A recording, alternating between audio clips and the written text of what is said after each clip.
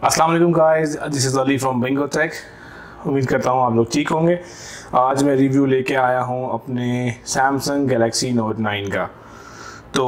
basically I use to be a iPhone user काफ़ी साल iPhone use करने के बाद this is the phone that actually made me switch to the Samsung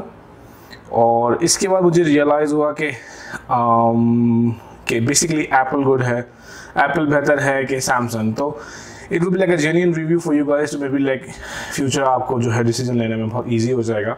कि कौन सा फ़ोन लेना चाहिए कौन सा नहीं। अगर देखा जाए तो now it's a brand too of course तो स्पेशली जब आप ये कहेंगे कि एक ऐसा फ्लैगशिप ब्रांड है फ्लैगशिप मोबाइल है तो ऑफ़ कोर्स इसमें आपको कुछ स्पेशल फीचर्स मिलते हैं जो कि दूसरे सैमसंग मोबाइल्स में नहीं मिलते। तो आइए देखते हैं कि सबसे पहले वो फीचर्स क्या हैं जिसकी वजह से मैं इस पर आज तक आ, रहा हूँ। उसकी वजह क्या है? इसकी वजह सबसे पहला तो इसका ये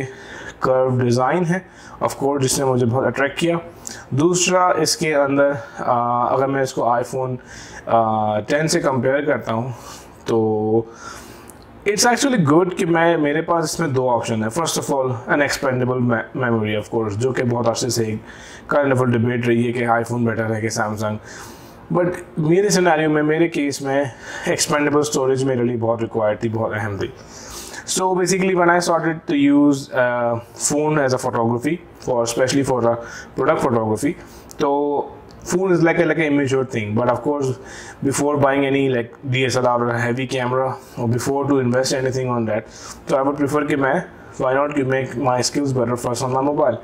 so I actually use iPhone जिसमें uh, मुझे एक कंपैरिजन मिला कि iPhone और Samsung में क्या फ़र्क रह सकता था तो मुझे जो दोनों में एक बहुत मेजर डिफरेंस नज़र आया वो था इनका कैमरा सैमसंग का कैमरा नॉर्मल फ़ोटोशूट के लिए बिल्कुल अच्छा नहीं है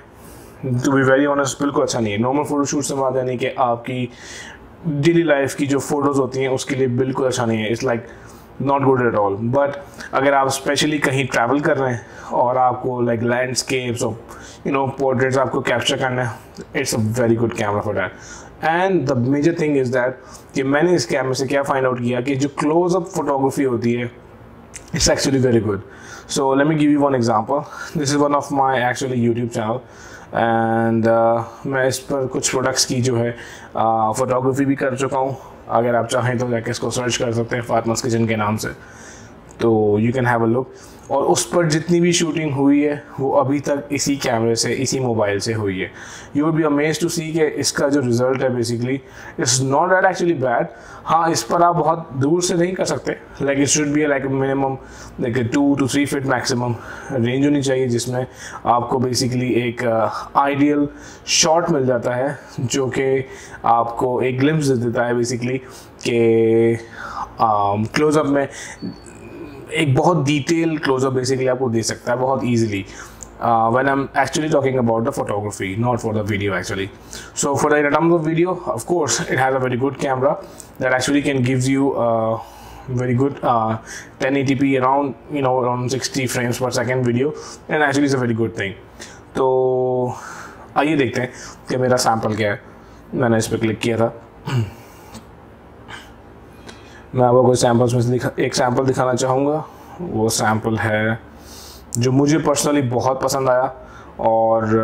ना कि सिर्फ़ मुझे पसंद आया, बल्कि उसके अलावा मेरे व्यूअर्स को बहुत पसंद आया, क्योंकि it was like complete picture that actually can see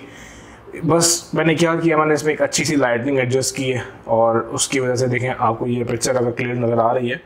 तो ये पिक्चर आपको दिखा सकती है एक जिंगर बर्गर की पिक्चर है जो कि एक हाफ़ है। But look at the zoom and detail अगर मैं इसकी थोड़ी सी ब्राइटनेस और बढ़ा सकूँ ताकि आपको ईजी नज़र आए तो ये देखिएगा इसी तरह से um,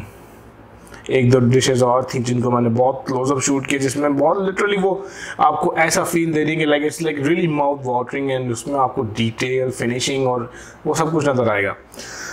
तो because of only because of this camera and इसकी expandable storage it attracts me towards the Samsung but overall of course Samsung ने बहुत, पहले से बहुत बेहतर परफॉर्म किया है like in terms of Android because normally होता यही है क्योंकि इसमें already has a six G B of RAM but some point ये आके स्लो होना शुरू हो जाता है as a compare to Apple of course वो आपको काफ़ी और ईजिली जो है वो खींच देगा जिसमें वो आपको लैग नहीं होगा हैंग नहीं होगा।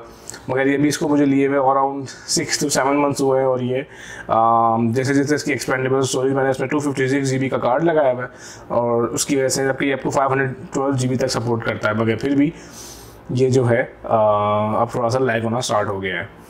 तो होपफुली आपको मेरा रिव्यू अच्छा लगा होगा। अगर अच्छा लगा तो kindly please do like subscribe my channel for future videos and see you next time